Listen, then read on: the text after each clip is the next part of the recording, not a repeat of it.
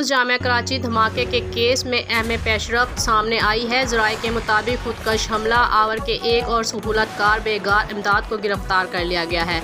मुलम कराची से फरार हो रहा था, जिस वक्त इसको तो इसको गिरफ़्तार किया गया। आपको फिर बताते चलें कि जामिया कराची धमाके के केस में अहम पेशरफ सामने आई है। जराये के मुताबिक खुदकश हमला, आवर के एक और सहूलतकार बेगार इमदाद को गिरफ़्तार कर लिया गया है। मुलजम कराची से फरार हो रहा था, जिस वक्त इसको गिरफ़्तार किया गया। जामिया कराची धमाके के केस में अहम पेशरफ सामने आई है। जराये के मुताबिक खुदकश हमला, आवर के एक और सहूलतकार बेगार इमदाद को गिरफ़्तार कर लिया गया है। मुलजम कराची से फ़रार हो रहा था, जिस वक्त इसको इसको गिरफ़्तार किया गया।